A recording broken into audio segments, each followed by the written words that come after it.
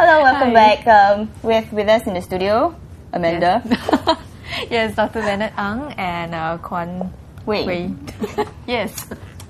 Okay, um, we've talked about how Singaporeans have very bad eyesight, but we actually spoke to Singaporeans to find out how bad really their eyesight are. so take a look at this eyesight BT. Okay, how bad is your eyesight? About 500 degree. Do you go to different opticians? Yeah. Have you ever got like a different response or different advice from different opticians? Yeah, yeah, yeah. Each one will sometimes not accurate. Sometimes I guess they want to make profit. lah. That's bad, no? Unprofessional. I think they should have some kind of license or control. You know? But I done my LASIK um, few years ago. Yeah. Before that, right? When you did you visit like different opticians or do you stick to one optician? Yeah. Normally, yeah, we'll just stick to one. Yeah. Ever had an experience where like opticians have given you different opinions or different advice about your eyesight? Oh yeah, yeah, yeah. Of course, yeah. Sometimes, yeah. I mean, before I done the LASIK, they told me uh, some will tell me, oh, I have wet eyes, and some, you know, say that my eyes are very dry, you know, that kind of thing. Yeah. Okay. Have you ever been to an optician? Yes. Okay. Have you visited different opticians and they've told you different things about your eyes? No, I only visited once. Yeah. No, to me it's all the same. As in, I only went to a certain optician there. So you stick with one optician. Yeah. How bad is your eyesight? Oh, quite bad. Like how? Already 500 degree. Okay. Do you go to different opticians? Yeah, it tends to because uh, when I move house, I'll change shop. So More go. for me. Do you get different opinions from like different opticians that you visit? Yeah, because I'm not. Uh, I don't know anything about this, you see. So I tend to listen to whatever they say. But they give you different opinions. Sometimes, yeah. Then you'll be uh, shocked. I cannot do this. Ah. Oh, now that I know. Do you go to different opticians? Uh, no, not really. So you stick with one optician. yes, of course. Okay, has there ever been a case where you've been given different advice by different opticians? Generally, no. So how bad is your eyesight? How bad? It's getting worse, lah. Actually, Okay. Uh, do you go to different opticians and have you had like different advice? yeah. Like Like some some say that uh, I shouldn't wear contact lenses because of my eyesight. Some say I should wear because of my my eyesight. Because I wear spectacles. Okay. Have you ever gotten different advice about your eyesight from different opticians? Uh, yes. Like, what did they tell you? Um, they think that I need to wear my spectacles. Um, I think when I'm studying and just like that. As in myopia since primary four. Okay. Yeah. I've had that too. This is not- Okay. Okay, how bad is it? Like, what degree do you have? Uh, 400 plus both sides. Have you ever experienced, right, when you visit different opticians, they give you different advice? I only stick to one usually. Sort of get the sense that um, people generally listen to Yeah, their the opticians. opticians. But they, I mean, majority of them said they have like conflicting advice. No, I have because I have. Um, I used to wear toric lenses. Then subsequently, another optician told me actually you don't have to because your astigmatism is quite low. So actually, my current prescriptions now I don't have them. Yeah, so I think that it's really So like what is about right and who should we Yeah. listen to? it's really about going to the uh, a qualified optometrist uh, who has actually gone through a formal education in terms of the fitting of a uh, contact lenses or, or spectacles as well. And with regards to uh, astigmatism, it, it really would also depend on your lifestyle needs. Very often, with a certain amount of astigmatism, using a toric contact lenses would definitely improve in terms of the visual, uh, uh, the kind of clarity of vision in the long run, especially if you intend to be reading or, or, or doing a lot of near work for long periods of time. Because ultimately, if the vision is not uh, corrected optimally, that may actually, well, cause certain amount of tiredness in your eyes when you actually do a lot of near work activities as well. So all of these factors do actually come into play when in, in deciding uh, what kind of uh, vision corrections that you actually require. have you had, have you had, like conflicting Uh, I advise think yourself? maybe it comes to like, uh, yeah, some of them will say you you don't really need to have like the specs with the exact degree Under that you correction. have. Yeah, yeah. Like you need to take 50 off or 100 degrees off or something so you won't feel giddy or something. So is that, is that true? Well, um, basically, uh, that point is also rather controversial. You have two schools of thought.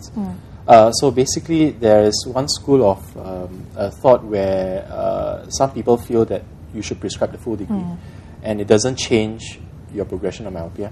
And another school of thought is that uh, maybe you don't have to have the full correction, maybe 50 degrees, and that may, uh, so that you don't get so adjusted to that full power, and so it delays your, your need for uh, further increases in, in spectacles. Uh, but once again, that's also that's controversial. There's no good scientific evidence to back both of the, each up. Uh, but it's a it's a personal preference. Some uh, doctors do feel, and optometrists do feel that uh, uh, by undercorrecting, uh, it can help. Uh, but uh, in general, I would say that if you are young, uh, ultimately the spectacle correction or your contact lens correction should be enough to give the person good enough vision. So at least when they are young, their developmental pathways uh, continue to function so they don't end up with something like a lazy eye when the, the nerves never develop fully.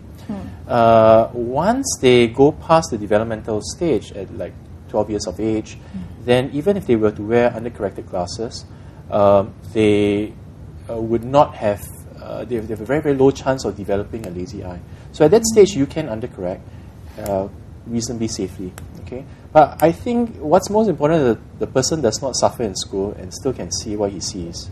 All right, uh, what is learned will not be unlearned, so the person's uh, pathways do develop fully and he can see well uh, beyond the age of 12 and 15. Then uh, he will continue to be able to see well, whether or not he's fully corrected or not. So the jury is still out as to whether or not undercorrection hel- is helpful. Uh, two schools of thought. Yeah, so basically, it's really about prescribing the correct vision corrections to meet the vision needs of this patient because different uh, uh, customers or patients may have different vision needs, different lifestyles.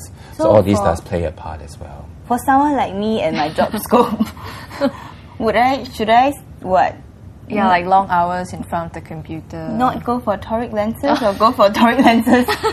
I think you need to uh, find the visual correction, whether it's spectacles, contact lenses, uh, or even refractive surgery. I mean, to, to meet your visual needs. If you are happy wearing glasses, uh, that is the safest uh, way of uh, correcting a refractive error. no, if not, I'm saying even for glasses because right now it's got no astig at all in my glasses. It's not corrected. if you can see well, yeah, I think it's like I don't see a difference. I mean, uh, ultimately, um, if you are able to function well during your normal activities, uh, then what you're wearing is probably good enough for you. uh, but of course, uh, if you're having difficulty uh, watching a movie, reading the subtitles, then certainly it could be because your astigmatism is undercorrected or your power is undercorrected. But it's, it's really a lifestyle choice. At your age, you are unlikely to um, uh, uh, end up with a lazy eye, for example, you know, because you're not wearing a full correction. But as what he said, uh, certainly it's a lifestyle choice. If you are doing mainly a lot of near work, uh, then you may not need the full correction because uh, most of your activities are in a near environment. Okay. And, But if you are suddenly if you are, you become a pilot one day, then suddenly you might want to have your full correction. Okay. Um, now we've spoken to some people what their you know opticians tell them, but um, what do what are some of the grandmother stories they hear From about their parents. Yeah, from you their know, parents. What to do and what not to from do. your parents, from my parents. Yeah. So let's look at some of the myths. Have you ever heard of any eyesight myths? Like, you know, when you were young, maybe your parents told you stuff? Oh, this is, I think, a accepted fact, not to lie down and read. I got my short sentence through that. Okay, my parents told me that too, but I've been told that's a myth. Uh, I, I, no, I know. I think it's because when you you lie, you are straining your eyes. So very fast, within one week, two weeks, you'll get short-sightedness. And the other thing is eat more tomatoes and all the carotene and all this. Vitamin A, is very good for eyesight. So, do you think it's helped you at all? I think help, at least it maintain. Do you know any eyesight myths that maybe when you were young your parents told you or that you tell your children? Cannot uh, lie down to read, cannot read in the dark. That's what they told us. I tell the same thing to my children, but they still get short-sighted. what, what other myths are there? Uh, not behind the light when they are reading. Yeah, So how about food that you eat or anything? Food lah, veggie, fish. All improve your eyesight. Yeah, meat little lah. Nowadays nobody like to eat meat a lot.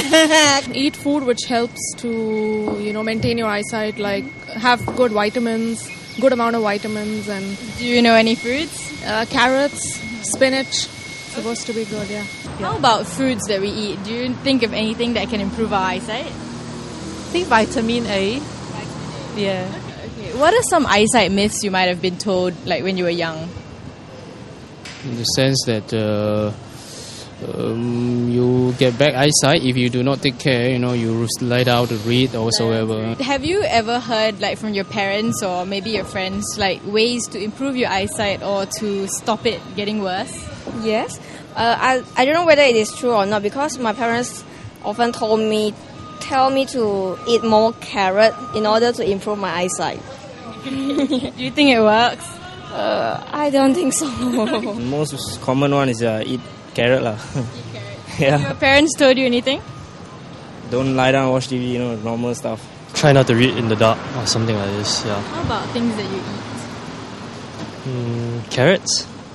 Do your parents tell you that? No, it's something like people say when I was younger. Then I try to just take it as a myth or something like this. Uh. But do you eat carrots? Mm, not as often. So it's, it doesn't work with your eyes. Have your parents ever told you things like if you lie down and read, your eyesight is going to go? No, but I read them in news or something. But do you think it works? Um, yes. Do you lie down and read? Yeah.